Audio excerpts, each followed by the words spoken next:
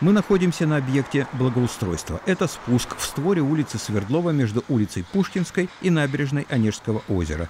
Это продолжение работ по благоустройству в рамках подготовки к столетию.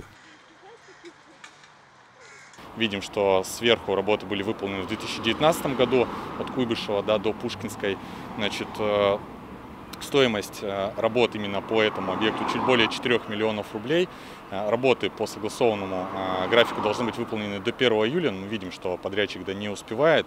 Есть тому объективные и субъективные причины, поэтому в случае, если все же к 1 июля объект не будет да, сдан, то будут применены санкции в рамках действующего законодательства и в соответствии с муниципальным контрактом. Поскольку у нас запланировано 8 лестничных спусков в городе, этот один из них, здесь есть ряд вопросов по срокам, и, соответственно, уже по качеству. Поэтому депутатский корпус сейчас взял на себя инициативу контролировать очень жестко этот объект.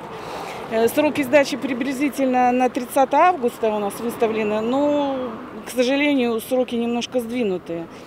Проблемы, из-за которых произошла задержка по срокам, касаются подземных коммуникаций, защиты кабелей, то есть проблемы рабочие, решаемые. И надеемся, что благоустройство спуска к озеру будет выполнено к столетию города.